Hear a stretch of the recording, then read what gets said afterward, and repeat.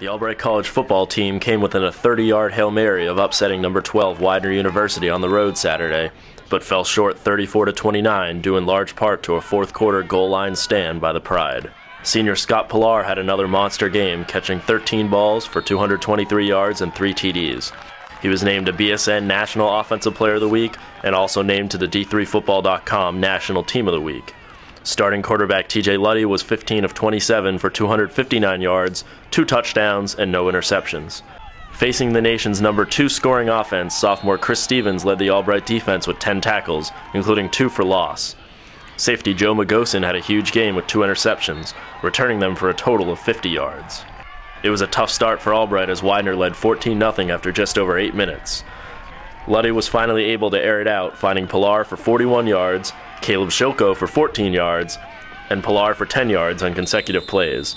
Luddy then scrambled for a gain of 13 yards down to the 5 yard line. After a plunge by Marty Reinhardt, Luddy hit Pilar for a third time in the end zone to get the Lions on the board. Hopn answered for Widener, however, hitting Anthony Davis for 52 yards down into the red zone.